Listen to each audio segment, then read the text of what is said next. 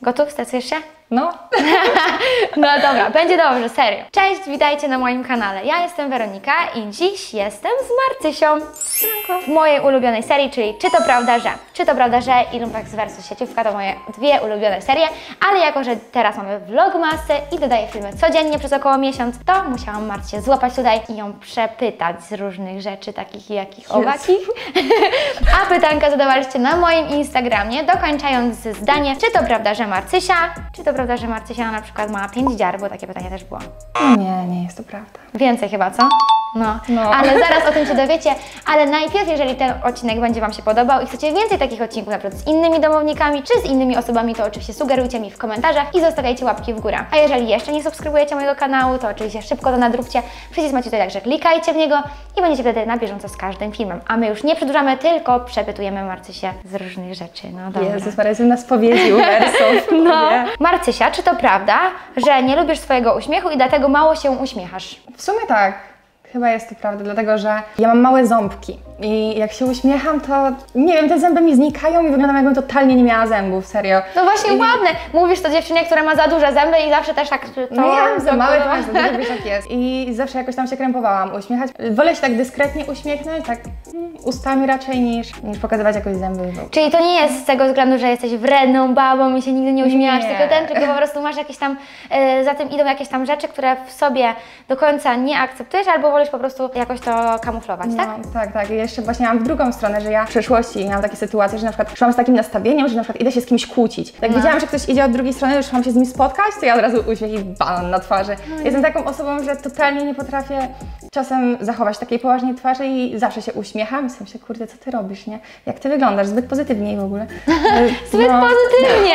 Dobra, mówi to Marcysia. No dobra, piszcie Marcysi, żeby częściej się uśmiechała, bo moim zdaniem ma bardzo Ale ładny tak, uśmiech. ostatnio jestem coraz bardziej, myślę, coraz więcej się uśmiecham i to widać też na moim Instagramie i w ogóle jak z Mateuszem robiliśmy jakieś zdjęcia, to właśnie nie potrafię wtedy być taka smutna, poważna, tylko właśnie gdzieś tam się pojawia ten uśmiech. Czy to prawda, że interesujesz się wężami dzięki trąbie? Tak, to jest prawda, bo w sumie gdybym nie poznała Mateusza, gdyby nie miał już wtedy puszka i w ogóle to nie sądzę, że bym się złamała i żebym w ogóle jakoś w ten temat się zagłębiać w tym temacie. No ale przez to, że poznałam moje pierwsze dziecko, którym był puszek, później kolejne, którym był okruszek, teraz mam jeszcze ja ponczuszka, no to jestem totalnie zakręcona w tym temacie, ale no przez Mateusza. Czyli przez Matiego. Okej. Czy to prawda, że Marcysia i Trąba zakładają wężową rodzinkę? Tak, jak najbardziej. No my z, domu, z domownikami jesteśmy trosze, troszkę przerażeni, jak ostatnio nam Trąba wysłał takie zdjęcie z takim gigantycznym wężem na całym tym. No to zabieram go do domu, a my tacy, yy, może nie. Jeszcze więcej do kochania. Nie, serio, my jesteśmy tak zakręceni teraz w tym temacie. Po prostu, no, miłość. Na pewno jeszcze musi być kopciuszek, musi być kłębuszek, musi być maluszek i w ogóle. Czyli imiona już wymyśliliście? Tak. Okej. Czy to prawda, że Marcysia miała z kimś z domu ekipy na początku jakąś spinę? Na początku myślę, że nie. W sensie chyba nie miałam w tamtym okresie żadnego konfliktu z nikim. Raczej ja też nie byłam z wami jakoś bardzo blisko i myślę, że z nikim nie, mia- nie byłam jakoś skonfliktowana, nie miałam spiny. Tak mi się wydaje, że raczej neutralny miałam stosunek z niektórymi, może lepszy, może gorszy. W sensie na przykład wiem, że z Mikserem i z Martą wtedy spędzaliśmy dużo czasu. I Bo siedzieliśmy sobie z Mati, z nimi i w ogóle my na przykład z wami, z tobą i z Karolem mniej w tamtym okresie przesiadywaliśmy. Tak mi się wydaje, że to było raczej okazjonalnie, ale nie miałam chyba żadnej spiny z nikim. No, No ja też, ja też nie kojarzę, szczególnie, że faktycznie było tak, że Ty weszłaś do nas jakby do domu przez Matiego i Maci też tak Cię próbował tak ukrywać, nie do końca tak często pokazywać, przez to właśnie jakby nie mieliśmy takiego z Tobą mega do, dobrego Przez kontaktu. to też, że ja mieszkałam, w sensie nie pojawiałam się u Was tak często, mieszkałam z rodzicami, mieszkałam u babci, e, chodziłam gdzieś indziej do pracy, to po prostu ja miałam też takie trochę swoje życie i były takie podzielone dwa światy dla Matiego, tak mi się wydaje. No, Ale teraz już się chyba to zmieniło, co? no i pewnie już tak będzie z czasem, coraz więcej mnie tutaj też jest, coraz więcej z Wami spędzam czasu, więc taka kolej rzeczy. O, czyli są jakieś poważniejsze plany, proszę bardzo.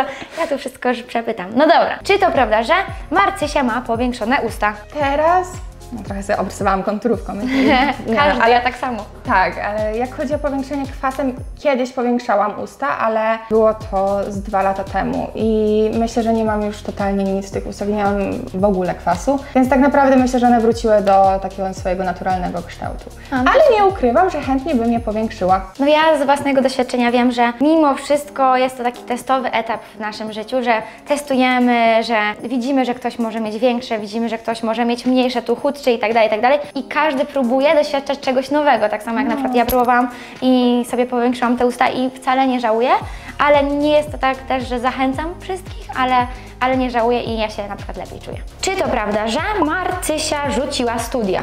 Nie, bo na te studia w ogóle nie dotarłam. Nie? Więc nie, ja w ogóle nie poszłam na studia żadne, więc no nie, nie jest to prawda. A nie planowałaś, że pójdziesz na studia albo coś, czy nie miałaś w ogóle zajawki? E, wiesz co, miałam w liceum, mi chodziła po głowie cały czas medycyna. W sumie miałam zapał do nauki i w ogóle, ale ja też miałam dużo historii z tą szkołą związanych i tak dalej. Chodziła do trzech różnych liceów, o, w ten sposób. W Więc- trzech lat, tak? Okej. Więc myślę, że no nie wiem, jakoś odpuściłam później plany, pójścia, w sensie też zobaczyłam jak mi poszła matura i stwierdziłam, dobra. Poza tym nie mam jakiejś mega zajawki, żeby chodzić na studia. Nie wiem, może kiedyś tak just for fun pójdę na studia, ale zobaczymy, nie, nie ciągnie mnie. Czy to prawda, Nie. że Marcysia ma z trąbą wspólną dziarkę? Tak, jest to prawda. Mamy napis Sangria pod, a nie wiem, czy to widać, pewnie nie widać. No, mamy sp- wspólny tatuaż, który zrobiliśmy sobie w Hiszpanii. Ale śmiesznie, ja byłam totalnie w szoku, pamiętam jak mi go pokazywaliście. Zobaczcie, no dobra, wspólny tatuaż, pewnie jakieś serduszko, coś tam, y, pewnie trąba sobie wy- wydzierał Marcysia, Marcysia trąba, a tu nagle taki napis Sangria. Ja uważam w ogóle, że wspólne tatuaże są super i to myślenie o tym, że dobra, rozstaniecie się, już nie będziecie mieć wspólnych tatuaży i w ogóle będziecie żałować, jest trochę mylnym y, z takim y, założeniem. Ja też mam wspólny tatuaż z Karolem i y, tak szczerze na co dzień go w ogóle nie zauważam i tak się nad No. tym nawet nie myśli, a dopiero potem jak na przykład stoję tak Bardziej patrzę. właśnie ludzie na to zwracają Tak. uwagę niż osoba, która go nosi, że tak powiem. I na pewno my też będziemy mieli kolejne, dlatego że pomysł w tym, żeby zrobić go w Hiszpanii, to, to plan taki, że po prostu jak będziemy gdzieś podróżować, gdzieś jechać na wakacje czy coś tam i gdzieś będziemy spędzali kilka dni na przykład, to w tamtym miejscu będziemy dzierali sobie coś, co nam się kojarzy z tym miejscem. Dlatego to jest ta sangria. Na pewno tych dziarek będzie więcej, o ile będziemy podróżować, no ale pewnie będziemy, więc na pewno będzie ich więcej, ale no, nie mamy takiego podejścia, że kiedyś możemy rozstać, że kiedy te tatuaże zostaną. Jeżeli ktoś też nie zna historii tatuażu, to nawet nie pomyśli o tym, że może to być wspólny tatuaż z kimś. Dokładnie. Czy to prawda, że Marcucha jest super dziewczyną, pozdrawiam. Jasne, że tak. Ale w ogóle się wzięła ta Marcucha? To jest śmieszne, bo Karol teraz tak cały czas na Ciebie gada Tak. i wszyscy już do Ciebie mówią Marcucha i myślę, że to się przyjmie. Myślę, że tak. Ale to jest akurat No. śmieszne. Marcucha brzmi całkiem fajnie, jak racucha. Ja kocham racuchy, więc ogólnie... Wszyscy może- mówią o tych racuchach. no. Czy to prawda, że trąba już Ci się oświadczył albo ma zamiar Ci się oświadczyć? Jezus, Jaki ma zamiar, to nie wiem, ale nie, nie oświadczył mi się jeszcze. Jeszcze nie? A na przykład rozmawiałaś z nim na ten temat? Nie, nie gadaliśmy o jakichś oświadczynach ani niczym takim. Gadaliśmy o tym, że będziemy mieć wężową rodzinę i raczej o takich rzeczach. Okej, okej. Czy to prawda, że Marcysia jest jedyneczką? Nie, nie jest to prawda. Mam dwóch braci młodszych. I co jest śmieszne z tego, co ja Wam mogę powiedzieć, to to, że niczym Martysia zaczęła się spotykać z Matim, to oni już Matiego znali, nie? Oczywiście, że tak, tak, tak, tak. Ja już słyszałam wcześniej jakieś historie, że oni widzieli trąbę, a ja sobie myślę, Jezus, kim jest trąba? No i mi opowiadali coś tam, że jakiś friz, jakiś trąba, że oni szli na angielski i widzieli. I trąba to sobie z nim zdjęcia nie chciał zrobić. O nie, o nie. No. Ale już teraz chyba zrobił, nie? Nie, no teraz już nie prosili, teraz to już są, wiesz, co, co. Kumple? Tak, tak, tak. Okej, Teraz okej. są z ziomeczkami, no. No tekst. Czy to prawda, że masz naturalny kolor włosów? O Jezu. W sumie to nie, nie jest to prawda, nie mam naturalnego koloru włosów, ale mam fest odrost. Tylko, że przez to, że miałam warkoczyki y, jeszcze ostatnio, stwierdziłam, że nie będę tych włosów, włosów teraz tak maltretować. Chodzę z jasnym odrostem, co nie wygląda zbyt dobrze, ale szkoda mi tych włosów strasznie i muszę chyba chwilę poświęcić teraz na regenerację ich, dlatego odpuszczam farbowanie na jakiś czas. Ja Cię mega lubię w tej fryzurze. Niczym robiłaś warkoczyki, to mega ładnie Ci było w tym, w tym bobie. I fajnie, jak Ci odrosną, już będą takie, Właśnie wiesz... muszę je podciąć, nie farbuję ich na razie i myślę, że za jakiś czas coś pomyślę, może nad jakimś zmianą kolorku. Czyli ogólnie będziesz mieć niebieskie włosy? Nie, na niebieskich nie. Ale chodzi mi po głowie jakiś blond. Choć wydaje mi się, że to totalnie nie będzie do mnie pasowało, bo ja mam ciemne oczy i może być po prostu dziwnie, no ale. Ja też tak myślałam. Ja przez, jak byłam w liceum, gimnazjum, liceum, zawsze mówiłam, że nigdy nie będę blondynką. Serio, zawsze No. tak powtarzałam. Ostatnio, co mogliście zauważyć po moim e, filmie, stałam się blondynką i... Ale to jest ślicznie w tym Nawet blondzie. dobrze się ja czułam. ci to mówiłam zresztą. No, a właśnie ja byłam przekonana, że w ogóle, że będę wyglądać okropnie, że w ogóle nie, nie, nie, nie. A okazuje się, że wcale nie jest tak. A ja też mam ciemny kolor włosów, więc może ko- Jezu, kolor, kolor oczu, więc akurat widzisz. No myślę, myślę, że spróbować, ale właśnie chyba się zaczaję na jakąś perukę blond. Zobaczę jak Ja mam, jak mogę się- Ci pożyczyć. No, mogę sobie przymierzyć, Możesz zobaczyć jak się będę prezentować. Jako, że Ty i Mati macie dużo dziar, to czy to prawda, że masz więcej tatuaży niż e, Mati? To jest ciężkie pytanie, dlatego że totalnie nie wiem, jak liczyć tatuaże. Ja też właśnie ostatnio byłam z moim bratem na dziarce i tak samo nie wiedziałam. Czy to się liczy, że masz rękę i potem nogę, czy coś, czy się liczy od sesji? On powiedział, że od sesji. No to jeżeli licz, e, mielibyśmy liczyć sesję, to i tak nie wiem w sumie, bo on ma całą rękę zapełnioną, na której no nie wiem ile już mógł mieć sesji. No Jezus, nie wiem. Myślę, że ja miałam, mam około 15, 20. Ja, ja się Tak bo mam wydaje. trzy. Ja, Tylko wiesz, właśnie na przykład ja mam bardzo małe niektóre tatuaże i które zajęły na przykład nam godzinę. e, Jak, go, jak je robiliśmy, a Mateusz ma całą łapę zrobioną, tutaj całego cycka, jedną całą łopatkę, więc no nie wiem. Myślę, że i tak sesji mogłam, w sensie no, wyjść na tatu, nie wiem, wizyt w salonie tatuażów, e, ja miałam więcej, tak mi się wydaje. Okej. Czy to prawda, że podkochujesz się w Karolu? Nie, nie, to prawda. Czy to prawda, że Marcysia ma prawo jazdy? Nie, nie mam prawa jazdy. To dlatego jeszcze nie jedziesz Matiego autem. Tak, ale właśnie gadamy o tym za każdym razem, jak gdzieś jedziemy. I Mateusz na przykład jest już spóźniony, no nie wiem, bo idzie załóżmy do Barbera albo idzie do dentysty, czy cokolwiek. To mówi, kurde, jakbyś miała to prawo jazdy, to bym ci zostawił ten samochód i byś zaparkowała, a teraz widzisz, musimy jeździć i w ogóle. Więc nie no, myślę, żeby się zebrać, bo ja prawo jazdy zaczęłam robić. Dwa lata temu. Czyli tak jak każdy. Moja przyjaciółka ma dokładnie to samo i moja tak ładnie ma to samo. Czyli ktoś zaczyna robić jazdy, ale nie dokończa. Tak. Ja jestem tego, ja jestem przekonana, że jeżeli ktoś już zacznie, ale coś tam, coś tam odłoży sobie to w czasie, to już No. serio będzie mega problem z tym. Przez to, że ja się nie nauczyłam zbyt dobrze jeździć po prostu. Tak naprawdę wyjeździłam 26 godzin, a jeździcie 30 w sumie, prawda? Coś Tak, takiego. 30 godzin plus No. jeszcze tam e, jakieś dodatkowe godziny, jeżeli Tak. nie zdasz jakiegoś egzaminu. ja 26 godzin wyjeździłam, ale uważam, że totalnie nie umiem jeździć. E, ale słyszałam też, że miałam ponoć słabego instruktora i dowiedziałam się to od innego faceta, który miał ze mną jakby zastępstwo. I on mi powiedział, że a do kogo ty chodzisz i w ogóle. I jak mu podałam nazwisko, to on powiedział, a, no to wszystko jasne, nie? I po prostu stwierdziłam, że dobra, no to zostawię to, dokupię sobie może jakieś godziny, może z tatą pojeżdżę gdzieś tam, tata mnie nauczy pewnie, a mama mnie nauczy może. No i tak to zostawiłam i od dwóch lat sobie gdzieś to prawo jest tak. tak. Czy to prawda, że twoi rodzice nie lubią węży?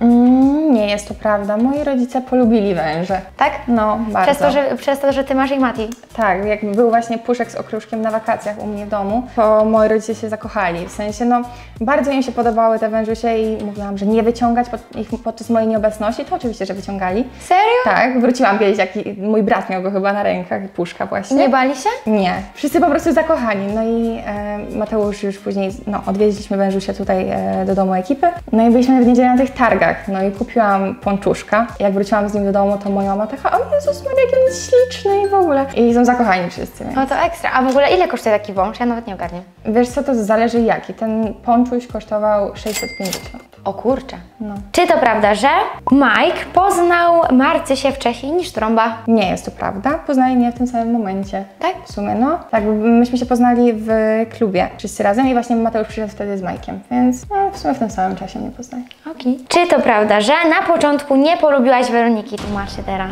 Nie, no nie było czegoś takiego. Mi się wydaje, że my nie miałyśmy też zbytnio bliskiego kontaktu. W sumie nie było między nami nigdy żadnego zgrzytu. No. Tak mi się wydaje, że no nie wiem, też nie rozmawiałyśmy dużo, więc ta relacja była bardziej chyba neutralna po prostu. Ale powiem Ci szczerze, że mm, ja nawet kiedyś powiedziałam Mateuszowi, że ja byłabym w stanie się z Tobą kumplować czy coś takiego, bo że jesteś naprawdę spoko dziewczyną. Może Ci to potwierdzić, nawet no. Dobra, dzięki kontaktu. Mati, dzięki Marcysia. Serio. W sensie odbierałam Cię bardzo pozytywnie. Już od jakiegoś czasu, jak nawet więcej z Tobą porozmawiałam czy coś tam, to, to coraz bardziej Cię pozytywnie odbierałam, a wcześniej nie byłam w stanie nawet wyrobić sobie żadnej opinii ani. Zweryfikować, no. No bo po prostu nie spędzałyśmy razem czasu, nie siedziałyśmy i w ogóle, więc... no.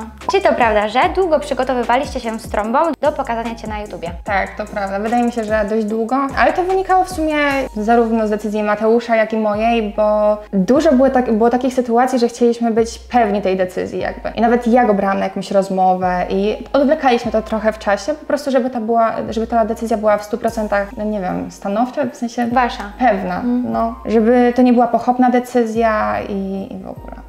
Ale myślę, że na dobre nam to wyszło i Zdecydowanie tak. Ja pamiętam że z mojego doświadczenia Wam powiem, że mnie Karol jakby zachęcał do tego, żeby się ze mną pokazać już chyba po miesiącu naszego związku. Ja byłam taka, że nie Karol, ja nie jestem na to gotowa, ja nie chcę, wiesz, ja widziałam jaki jest szał wokół niego i za każdym razem właśnie mówiłam, że nie, jeszcze to nie jest ten czas, spokojnie zaczekajmy, zaczekajmy, zaczekajmy. I teraz z perspektywy czasu chętnie powiedziałabym, że zaczekajcie jeszcze chwilę i nawet Wam to mówiłam, pamiętasz, że, Tak, tak. że często jest tak, że ludzie myślą, że się, to jest wszystko takie idealne i że ty jesteś tylko dla pieniędzy, tylko dla fejmu i tak No. dalej, i tak dalej, a tak naprawdę, jeżeli ujawniasz swój związek w internecie, jest taka nagonka na ciebie, a mimo wszystko tego związku jest mniej. I to jest przerażające, No. że jakby pokazujesz tego, ten związek w internecie, a tego związku prywatnego dla ciebie jest mniej. I tego się właśnie obawiałam i tak teraz jakby się trochę stało, ale jakby wszystko można sobie wypracować. I teraz już jakby jest już tak w porządku, że jesteście razem w tym internecie i razem się pokazujecie i razem Ja się cieszę, że my poczekaliśmy, dlatego że ja też się bardziej z tym wszystkim obeznałam, a ja jestem taką osobą, że może wydaje się na taką pewną siebie i tak dalej, a dla mnie to wszystko było strasznie nowe i No wiadomo. ja jestem taka, że ja czasem się wolę schować i w ogóle tak małymi kroczkami i się przekonuję. Zresztą ja tutaj siedząc po prostu mam pachy całe mokre ze stresu, brzuch mnie już bolał, co mówiłam wcześniej Weronice. Dokładnie, i nawet się śmiałyśmy z Marcinem, że ja miałam dokładnie tak samo i nawet za każdym razem jak nagrywam ten film i tu się wydaje, że dobra, już się obyłam z tą kamerą, to i tak mi się pachy pocą i tak samo cały czas się No sypię, właśnie. Każdym dniem będzie coraz lepiej i tak już się trochę oswoiłam z tą kamerą, choć i tak czasem się łapię na tym, nawet przed chwilą się łapałam na tym, że zaczynam gadać głupoty albo nie jestem w stanie się wysłowić. No to może widzisz to dokładnie No. tak jak ja. Po prostu słowa mi się już zaczynają plątać, ale jest git i mam nadzieję, że będzie coraz lepiej. Dobra, dobra, a teraz uwaga, uwaga. Ostatnie pytanko wylosowane przez Marcysię. Klikamy sobie proszę bardzo na Instagramka, wchodzimy w Twoje pytanka. Nie podglądasz? Nie? Klikam? Tak. Czy masz własnego szczura? o co chodzi z jakim szczurem? Masz nie mam własnego szczura. Nie masz? No Nie. dobra, no to tym optymistycznym, szczurowym e, akcentem zakończymy ten odcinek. Jeżeli taki odcinek Wam się podobał, to oczywiście zostawiajcie łapki w górę, wbijajcie na Instagramka Marcysi, na mojego Instagramka i oczywiście subskrybujcie kanał, bo będziecie na bieżąco, a filmy będą tutaj codziennie przez prawie miesiąc, więc jutro znowu się widzimy. No i do zobaczenia. Cześć!